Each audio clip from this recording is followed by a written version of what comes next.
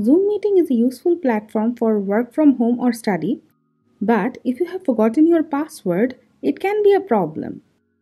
Don't worry, in this video we will show you how you can easily reset the Zoom password from iPad or iPhone. Make sure you have the access of the email associated with your Zoom account because it will be needed to reset your password. After that, let's check out the process.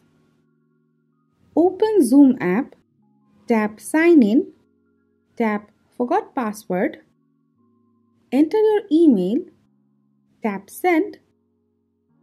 You will get a pop up. Tap OK. Open your email. Open the mail from Zoom.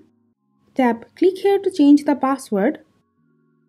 You will be redirected to Zoom Web on the password reset page. Now enter a new password. Now confirm it. Make sure it fulfills these criteria.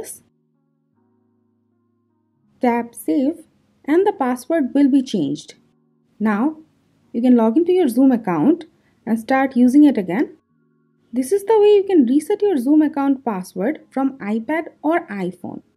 That's it for now. If you have any query on the topic, let us know in the comment box and always stay with our channel. Thank you.